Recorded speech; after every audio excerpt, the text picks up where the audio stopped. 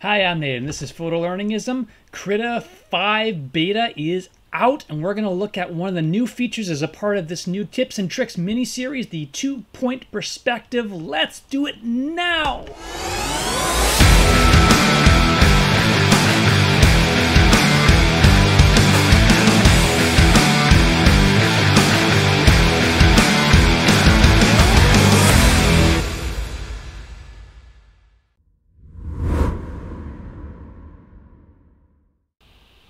So once again, I'm Nate. This is Photolearningism. Thank you so much for being here. Let's get into this. We're going to hop into Krita. The beta for 5 is out. I would encourage you to go try it out.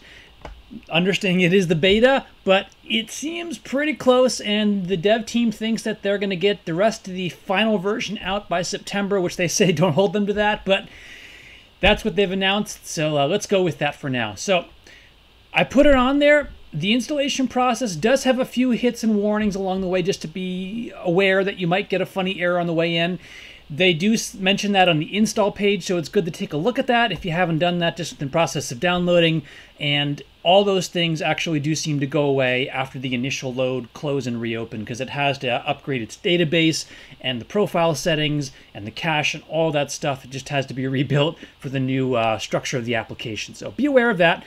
Here we go the two point perspective. The, the idea of perspectives I don't think is new so much to Krita, but the two point perspective is. And I wanted to show that off here on the workspace. So the tool is over here. It's kind of this crosshairs type of button. And once we have it, we do need to look at the tool options, which depending on how you've organized your Dockers and workspace, could be along here. This is just where mine is. So tool options, two point perspective, and to demonstrate that, I'm going to put a point here and a point here and start to move the mouse around from there. And you can see my two point perspective. It kind of runs off into infinity.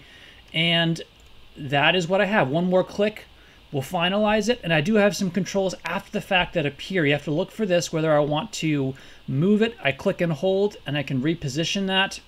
I can actually grab these individual axes points and I can make more adjustments. I can also add another perspective if I really wanted to. Uh, that gets kind of uh, layered and complex, but you can move these other things. You can kind of see how messy that starts to look on top of each other.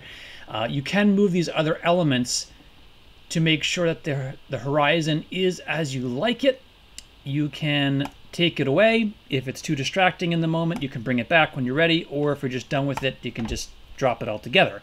But it's a really fascinating addition where you can get a good sense of both the ground level and sky level horizontal points and perspective and paint on top of those. You get all the lines generated for you. Very simple, very powerful, very easy to get to. And again, it's non-destructive. It just works on top of what you're doing. You work your layers separately from this control. It's literally just an overlay tool that you work from. All right, so that is the quick and dirty. There will be more with Krita 5. I'm keeping these short and sweet because uh, those are just more fun. And we'll be back at the next video. There's there's things that we've looked at before. If you haven't had a chance, go watch the video over there. Or having my fingers work over there on uh, the kind of the sneak peek of 5 with some other features which I've touched on before, which are here and do look to be working fairly well. So get a good sense of what those are, and we'll be back to look at those in the quick and easy and other videos. If you haven't subscribed already, go ahead and do that. Give me a thumbs up if this was useful to you, and leave a comment, ask a question.